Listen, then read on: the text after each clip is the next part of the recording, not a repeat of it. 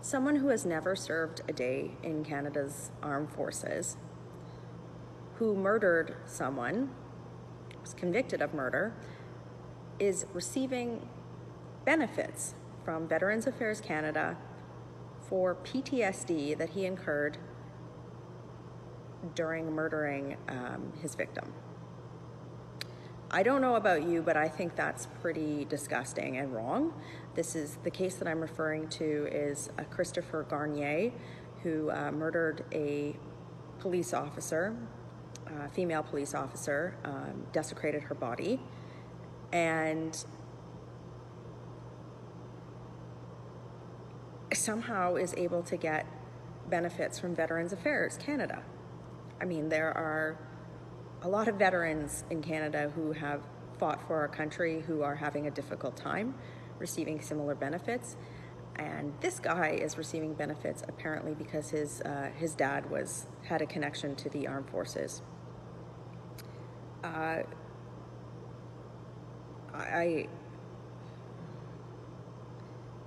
I don't think that this is right and this needs to be rectified. Our our party, our party leader, my colleagues have been holding the government to account on this for some period of time, but today took the cake. And I just, before I show you the clips of what happened in question period today, I just, I just want to give you a warning that it's it's really disgusting what happened in question period today.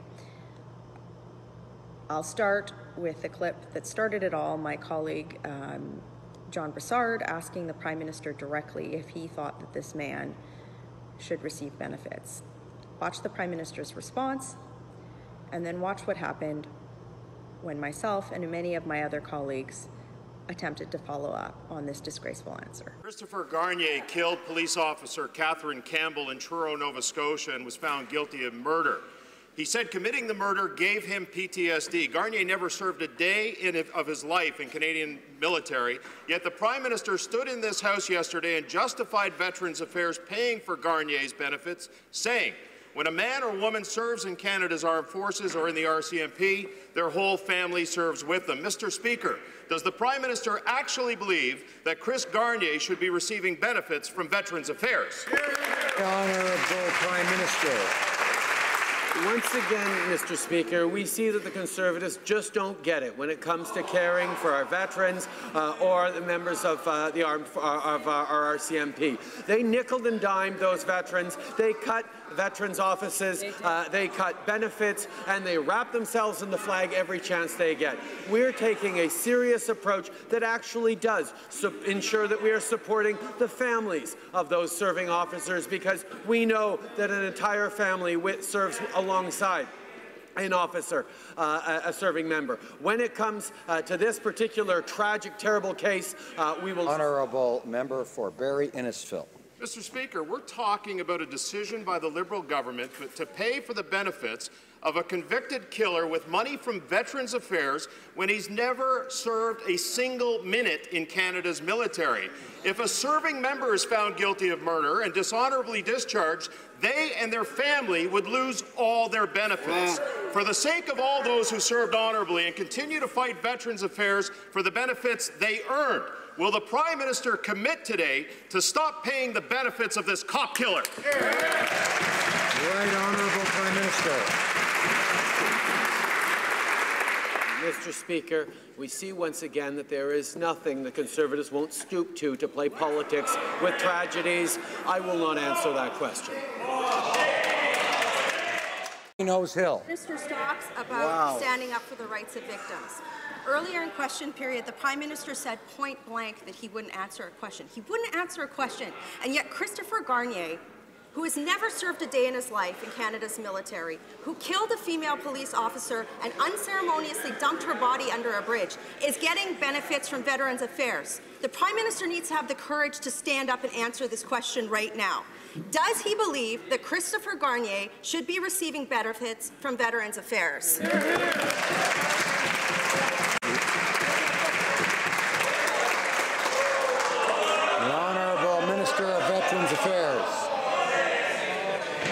Speaker. Our hearts, our hearts go out to the family of Constable Campbell. I always have to say this, I never like saying it, but it's important, and for privacy reasons, I can't get into the case. But I made it very clear, and I think many people in this House made it very clear how uncomfortable they were with this whole situation. I've asked the department to go back and provide me with a better understanding of how this decision was made. Thank you, Mr. Speaker.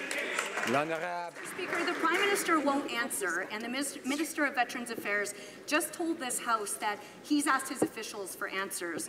But the Minister already promised veterans answers three weeks ago. To be clear, that murderer killed her, put her body in a compost bin, and dumped her under a bridge.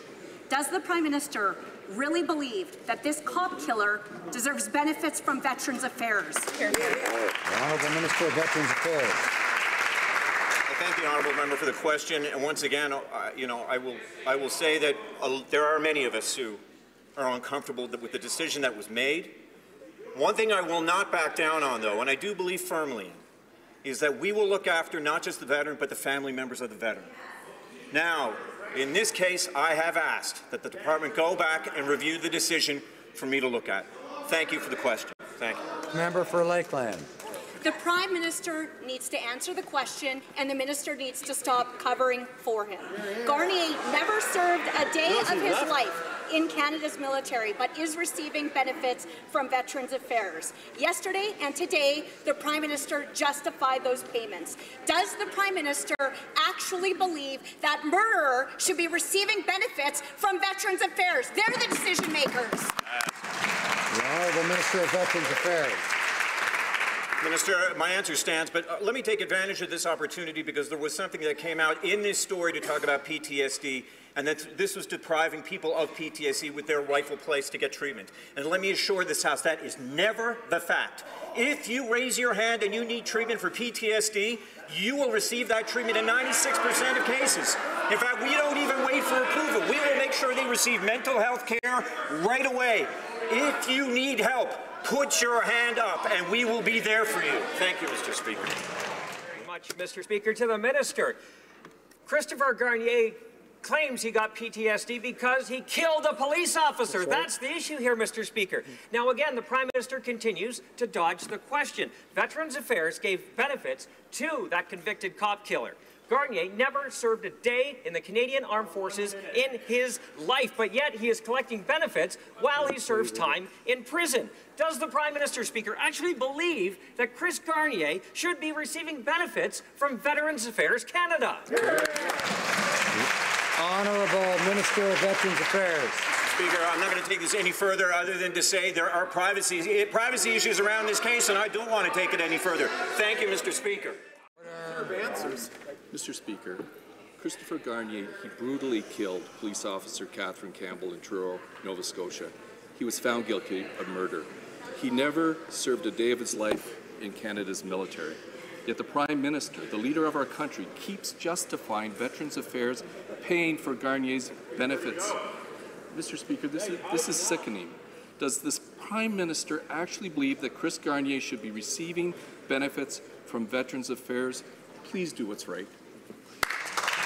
Honorable Minister of Veterans Affairs. I thank the honourable member for his question, and once again, I have asked my officials to go back to review the judgment and to come back to me with that review. Thank you very much for the question. Order. Mr. Speaker, here's what we know in this House today. The Prime Minister will not stand up and answer the question about the murder. The murderer who's collecting benefits that are targeted for veterans, not someone who's not served in the military, a 30-year-old healthy individual who decided to commit murder on an innocent woman, threw her under a bridge. This minister promised three and a half weeks ago to dig into this matter and find out what's going on. Three and a half weeks. How long does it take to get an answer from Adam Campbell's family? Right Honorable Prime Minister. Mr. Speaker, I stood in this House and answered the first time the question was asked. But as the level of debate sunk, as the level of uh, political games uh, got torqued up by the Conservatives around a terrible, tragic, uh, reprehensible incident, uh, I chose not to encourage them. Mr. Speaker, at one point, Canadians uh, are going to help the Conservatives understand that they should not play these disgusting political games the way they are doing. Mr. Speaker, the Prime Minister started off question period by saying he wouldn't answer a question. The answer he just gave my colleague was disgusting. A woman was murdered by somebody who did not serve a day in Canada's military, and he is receiving better, benefits from Veterans Affairs. This Prime Minister needs to stand up and be accountable for his values.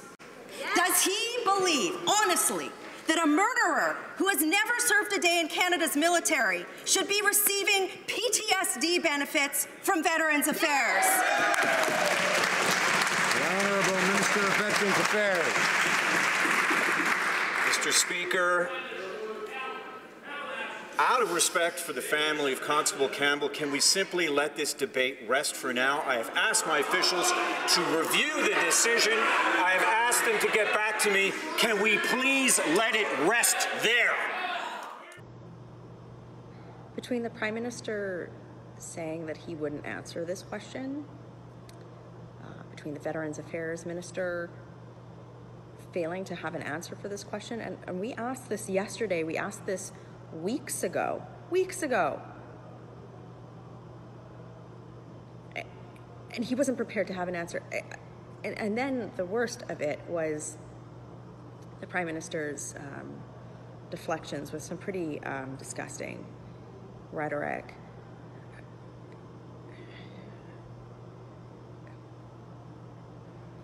You know, the, the only answer to that question was no, he should not be receiving benefits. That is the only answer to that question. I mean, that is what the Prime Minister should have done, is just stood up and said no. He should not be receiving benefits, and I will be rectifying that situation. I I can't see any possible other answer in any situation uh, for so many reasons. If you have a minute today and you were as disturbed as I was about what happened there, pick a Liberal MP. Pick someone who's on the Veterans Affairs Committee. Pick anybody and, and, and phone them. Pick up the phone. And if you've never phoned an MP, do it today and just say, no, he shouldn't be receiving benefits. We will continue to push on this issue to ensure that it is fixed. But at this point in time, um, ugh, we need your help. Working hard for you in Ottawa. Have a great day.